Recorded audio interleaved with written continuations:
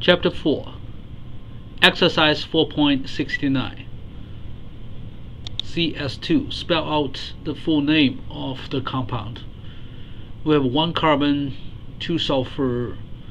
Uh, we write out carbon in the front, and then we have sulfide. Uh, in this case, we have two sulfur, so it's going to be carbon disulfide.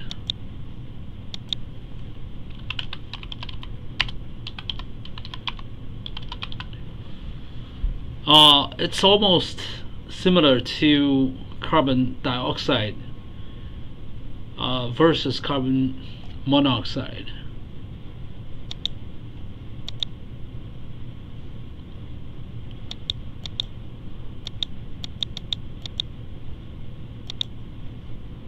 Uh, nitrogen, uh, triiodide.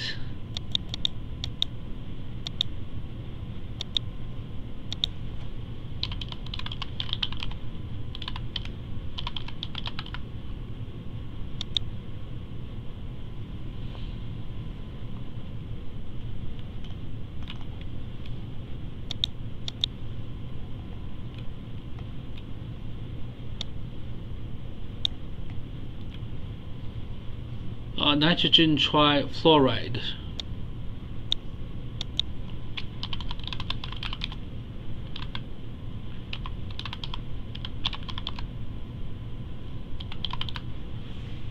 Uh, we have three fluorine atoms. Part D. Uh, this is weird. Uh, in this case, it's oxygen difluoride.